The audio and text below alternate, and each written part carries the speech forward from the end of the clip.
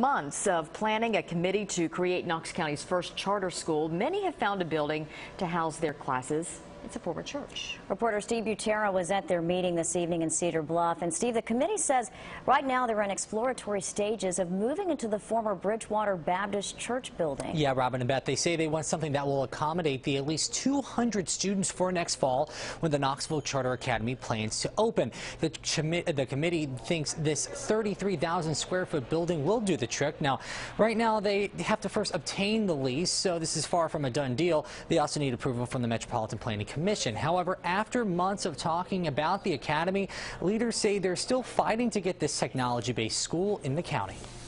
We're, we're still going full speed ahead because we are trying to um, do our best and we're still on target or still moving towards the target of opening the school. Now, the school will hold kindergarten through eighth grade students and have an emphasis on science, technology, engineering, and math. Also, at tonight's meeting, the board discussed plans to hire their first principal at the school. Their next meeting will be on December the 2nd. Guys?